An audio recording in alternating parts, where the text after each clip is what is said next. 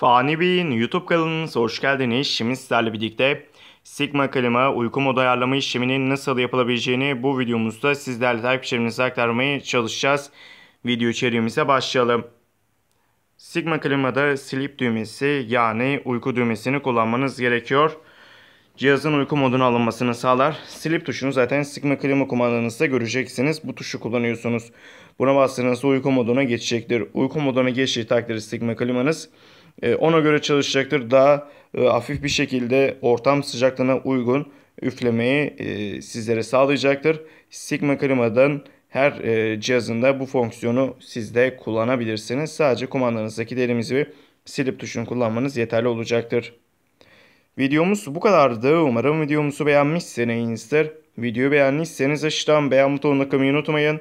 Kanalımıza abone değilseniz lütfen abone olun. Bir sonraki videomuzda görüşmek üzere. Hoşçakalın. Kendinize iyi bakın.